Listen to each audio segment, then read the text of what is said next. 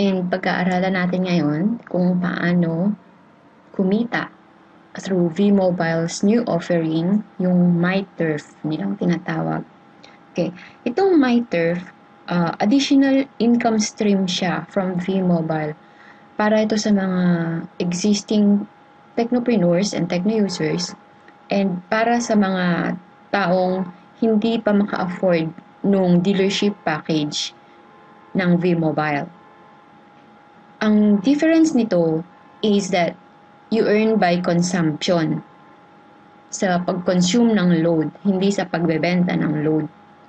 So, recurring ang, ang kikitain mo dito. Recurring siya monthly. Hindi katulad nung iba na one-time payment lang. Okay, so napakagandang programa and I hope maraming maka-join at um, mag-prosper dahil dito. So anyway, let's start. Okay. Kilala natin itong tatlong to. Si Smart, si Globe, si Sun. Sila yung mga telecom giants sa Pilipinas.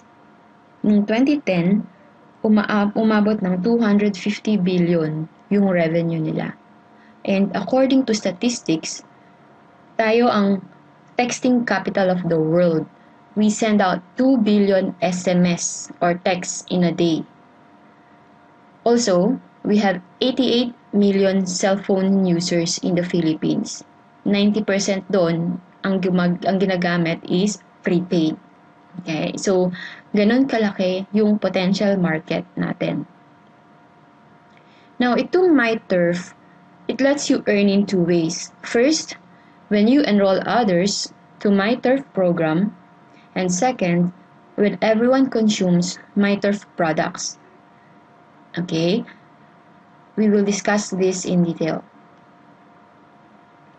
Uh, as I said, yung mga existing na technopreneurs and techno users can already avail of this MyTurf program. Hindi na nila kailangang mag-register ulit. Uh, first things first, ang technopreneurs sa V-Mobile, sila yung mga dealers.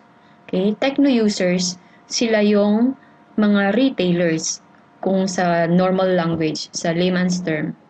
Okay? Next, paano mag-sign up? Paano ka magpapa-join ng tao sa MyTurf? Ganito. There are two ways. First is from Technopreneur. Bibili ka ng card from a Technopreneur which cost uh, 250 pesos. Ito yung card. And then, i-register mo yung sarili mo through text. Okay? Para mag-register sa'yo yung card, yung ID number. Second option is through SMS or web enrollment din from a techno user. Ibig sabihin, ang isang techno user, kasi nasa taas yan technopreneur, under niya ay mga techno users. Okay? So, itong uh, techno users na to, pwede rin silang mag-register ng sub-retailer nila or sub-techno user nila. Okay? Ang difference nitong dalawa, itong card, bibili mo siya ng 250. Okay? Pero wala tong load wallet. Itong uh, enrollment through SMS, 300 ang babayaran mo sa techno user, pero may kasama na siyang 50 pesos na load wallet. Okay? So, ganun din, parehas lang din yung registration fee na 250 pesos. Paano mag-enroll using SMS? Merong code, ita-text mo lang ito, isi-send mo sa gateway.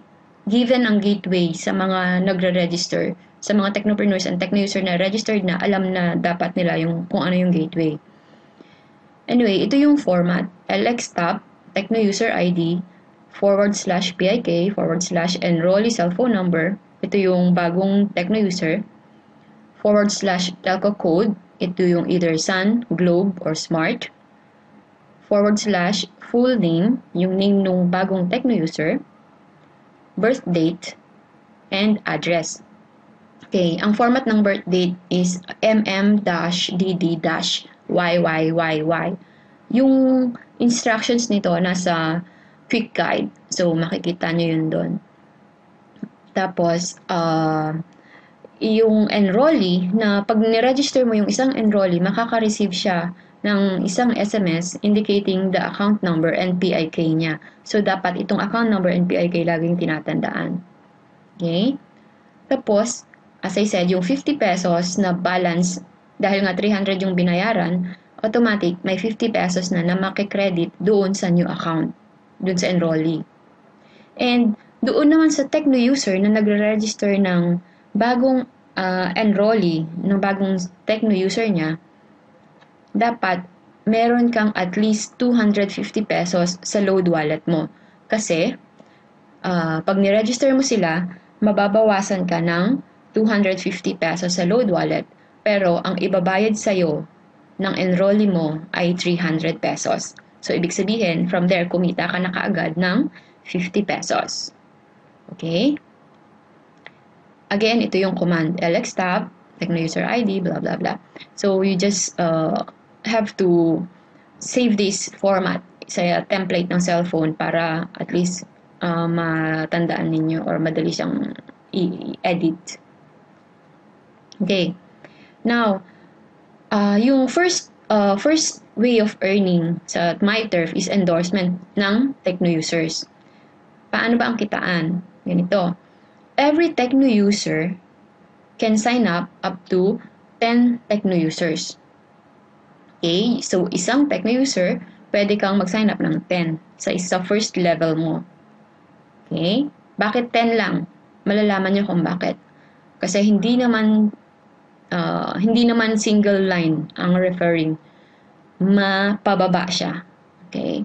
So, 10 is enough. So, uh, yung first level mo na yon, yung first 10 mo, sila yung first level mo, direct endorsement mo. Kikita ka doon ng 50 pesos. Okay? Ngayon, itong first level mo, kapag nag-endorse sila ulit ng another tech na user nila, yun na yung second level mo, kikita ka naman ng 20 pesos. Okay? So, yung first level, kikita siya ng 50 pesos from here. Ikaw, kikita ka naman ng 20 pesos. Hanggang 8 level yon. Okay? Now, kapag technopreneur naman, okay, ito techno user. Kapag technopreneur naman, pwedeng mag-sign up ng hanggang 20 techno users. Ito yung mga cards na kasama dun sa 3988 na package. Tapos, yung cards na yon, kapag nabenta mo kasi yon, 250 yon each. And uh, yun yung nagiging first level mo. Okay? So, yung 250 each na yon, yung, oo, yung 20 na techno users mo na yon, pwede silang mag-endorse din. So, kikita ka doon ng 40 pesos sa bawat endorsement nung first level mo. Second to 8 level din. Pero, ang difference, hindi natatapos hanggang 8 level ang kita ng technopreneur. Sa bawat indirect endorsement ulit, from 9th level to infinity, kikita ka ng 20 pesos. Infinity, ibig sabihin walang katapusan hanggat may nag sa sub techno user, dun sa mga techno users mo, kikita ka ng kikita ng 20 pesos. Okay? Sa system, ang tawag dito is subscriber sales override. Okay? So, ang difference, kapag Techno user, 50 pesos yung direct endorsement mo, sa Technopreneur, 250. Techno user, 20 pesos ang indirect endorsement from 2nd to 8th level. Kapag Technopreneur, 40 pesos ang endorsement mo. Okay? And, hindi natatapos sa 8th level kapag Technopreneur ka. Okay. Tingnan natin graphically. Let's see an illustration kung paano ba to. Let's say, nag-invite ka ng three friends, isa kang techno user, nag-invite ka ng three friends as direct uh, endorsement mo. Okay? Yung tatlong ito, mag invite din sila ng tag-tatlo. Tag-tatlo lang. Ang sinabi natin, ang limit is 10. Pero at this point, tag-tatlo lang. Okay? So, yung tatlo na yon mag invite din sila ng tag-tatlo. Ito mag invite ng tag-tatlo. Ito mag invite ng tag-tatlo. Sa second level mo, meron ka ng 9 na tao. Okay? So, sa third level, ganun din. mag invite lang din ng tag-tatlo, tag-tatlo. So, meron ka ng 27 na tao. Hanggang 8 level, sa 8 level mo, meron ka ng, ah, sa 8 level pa lang, 6,561 ang tao mo. Okay? Now, ah, paano yung kitaan? As I said, kapag techno user ka, ito 50 pesos, then 20 pesos for the rest. Indir- indirect endorsement. Ito yung uh, potential income mo. 196,890 pesos. Power of 3 lang yan. Okay? Sa technopreneur naman, ganito ang illustration. Yung first endorsement mo, 250 each. Yung second to 8, 40 pesos. Okay? So, ang potential income mo, 394,230 pesos. Pero hindi doon natatapos yon Kasi as we said, from 9 level, additional 20 pesos each. So that's 787,890 pesos. 10th level, 1.9. 11, 5.5, 12, 16M. And hanggang infinity yan. So, ganun kalaki yung potential income for technopreneurs.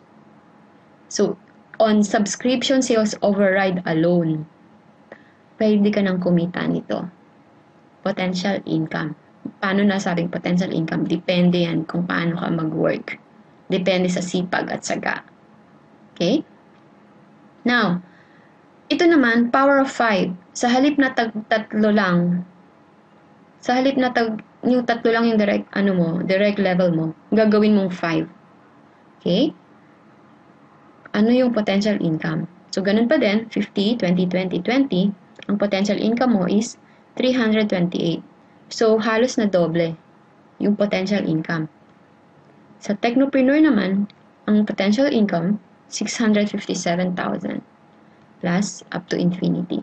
So, you, you count, you calculate kung gaano kalaki. Power of 5 yan. Ang techno user hanggang 10 pwede. Ang technopreneur hanggang 10 plus unlimited infinity. Sorry, 20 pag technopreneur.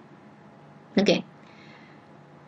Next, another way to earn sa MyTurf project or program is yung tinatawag na patronage rewards. Ito yung kikita ka sa pag-consume lang ng load, hindi sa pagbebenta ng load.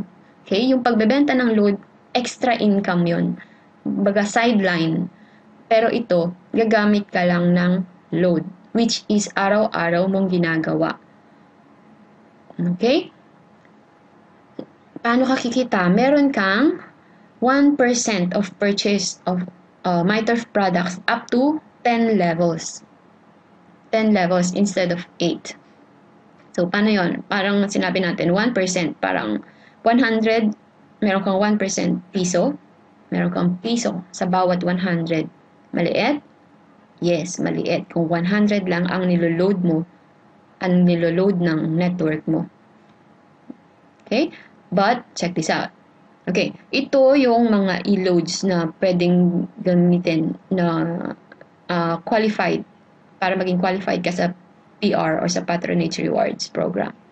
Smart Body, Globe, and Sun Express, which is which are the three biggest companies, okay? And kung naka-postpaid ka naman, as long as gumagamit ka ng mga wellness products, yung Apollo, Cifadin, uh, qualified ka pa rin na mag-earn ng patronage rewards. Okay. Let's see the illustration. Power of 3 pa din. Okay. Sa power of 3, as we said kanina, magbubuo ka ng network mo. Okay? Ang total na tao niyan is 88,572. Now, get 1% of it. Okay? Halimbawa, lahat kayo nagko-consume ng 100 pesos ng 100 pesos na MyTurf products, ito yung potential income mo. 88,572. Let's assume naman na nagko-consume kayo ng 300 which I believe is uh, tawag nito normal normal or average user usage ng bawat Pinoy ang potential income mo is 265,716 pesos kung kompleto yung network mo. Okay? Let's say, mas marami pa, yung mga, yung mga nakuha mo, mas malalakas pang gumamit. 500 average per month. 442,000. And hindi to one time. This is monthly income. As long as gumagamit kayo ng MyTurf products ng network mo. Okay? So, bakit sinabing sustainable? Bakit sinabing magtatagal yung MyTurf? Na kaya niyang magbayad ng ganong kalaki? Kasi, every subscribers, every subscriber are required to purchase MyTurf products to qualify. Okay? Ibig sabihin, kailangan lahat kayo gumagamit ng MyTurf products. Ano ba yung mga MyTurf products? And, sorry, meron din siyang qualifying period.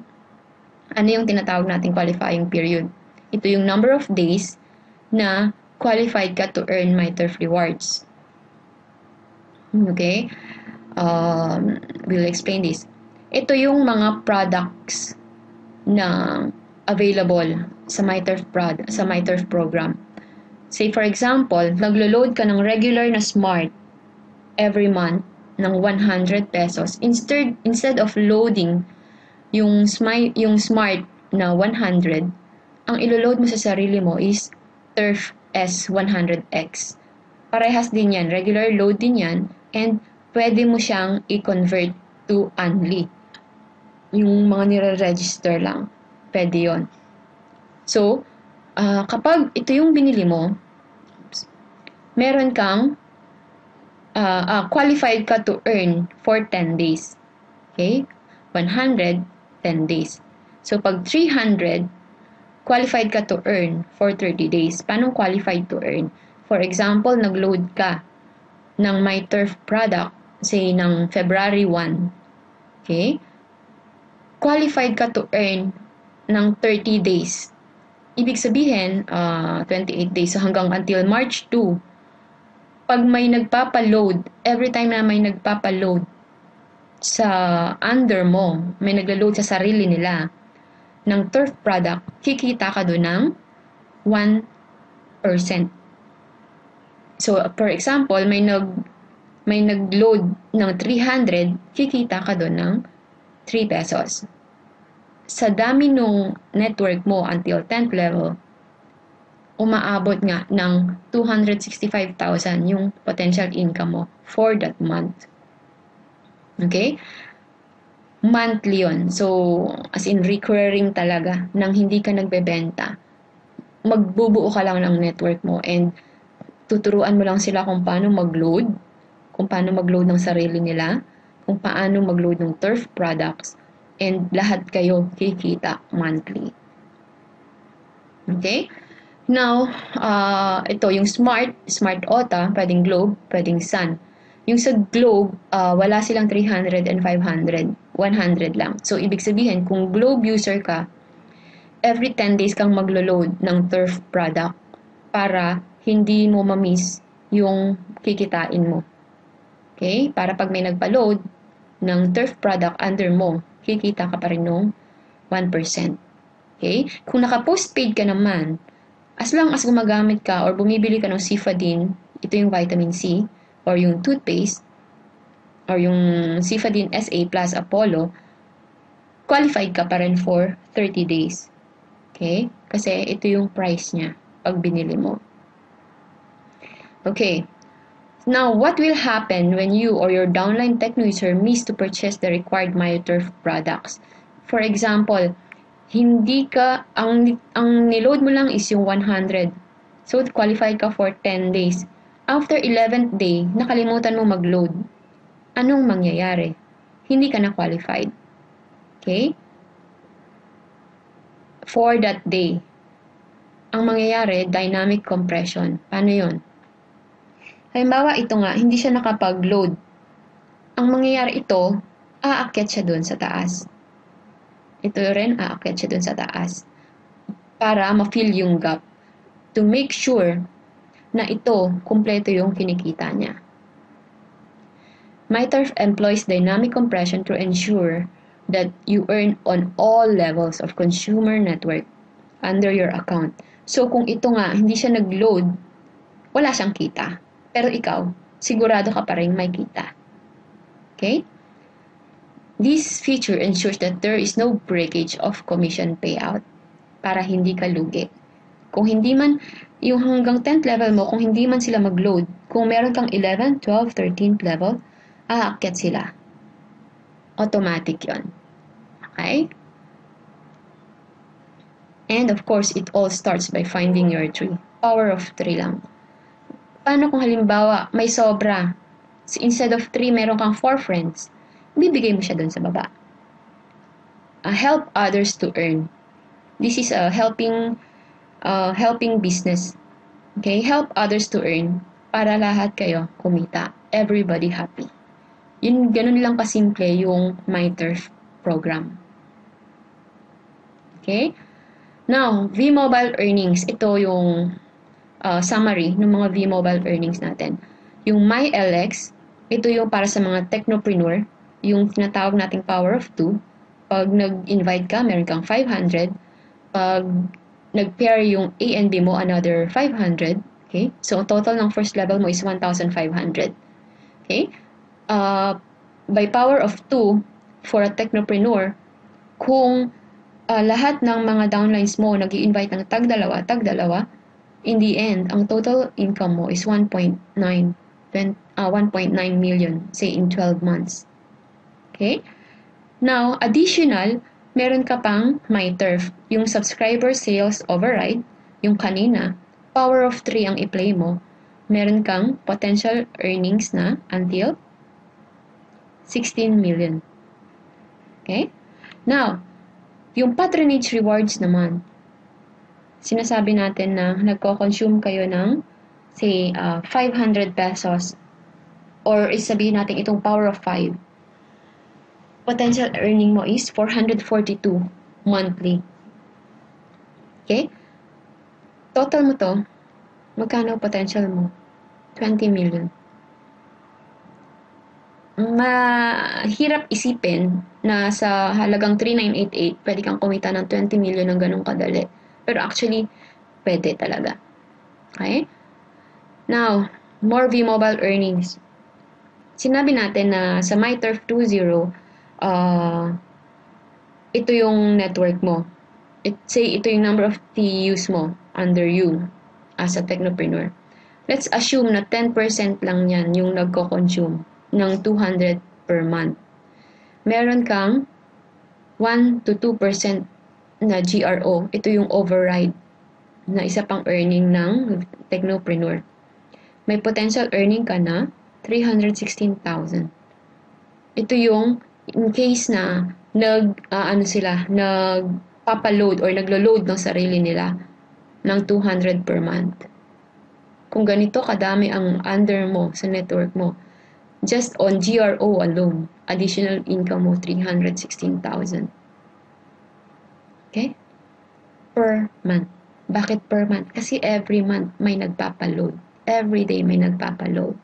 So, ang tip is to build your network. Build your network of users. Si yung nagpapaload sa sarili nila. Sila yung naglo-load sa sarili nila. Hindi nila kailangang magbenta. Okay? Now, yung integration with MyLX, bawat, uh, okay, yung direct referrals mo as a technopreneur, sila yung nagiging level 1 mo sa MyTurf. Si ako, technopreneur ako kapag nakakuha ako, yung first level ko ng technopreneur, sila yung nagiging first level ko sa MyTurf. Okay? Yung techno users naman nila, sila yung nagiging second level ko. Yung technopreneur naman, under your direct referrals, also become levels in your MyTurf program. Okay. Next, ito yung uh, MyLX, kapag naging technopreneur or techno-user ka na nag-endorse, magkakaroon ka ng uh, account, website account sa mylx.biz para ma-check mo yung earnings mo. Ito yung MyTurf na page. Okay? Uh, example screen, ito siya. Uh, MyTurf qualification period. So, pag nagpa-load ka, malalaman mo kung kailan ka qualified. Okay? Kung kailan ka qualified na mag-earn. Although, pag nag-send ka, mag, pag nag-text ka, or kapag nag-load ka, i-text din sa'yo kung kailan yung qualifying period mo. Okay, ito yung sample ng genealogy. Genealogy sa MITRE. Ibig sabihin yung mga list ng mga downlines mo. Siya, say for example, sa level 1 niya, marami na siyang techno users. Okay? And yung mga techno users na yon gumagamit. So sa bawat uh, load nila, nag-earn siya ng patronage reward. 1 pesos, 1 pesos, 1 pesos. Tagwa 1 pesos lang. Pero isipin mo kung marami kang techno users and ni hindi mo alam kung sino-sino sila. Pero kumikita ka from them. Okay? Meron kang this is uh, this page is where you manage your MyTurf account. Okay? Again. So, ganun kasimple kumita sa D-Mobile MyTurf program. I hope you enjoyed the slide and if you didn't understand, if you have any question, you can always contact me. Okay?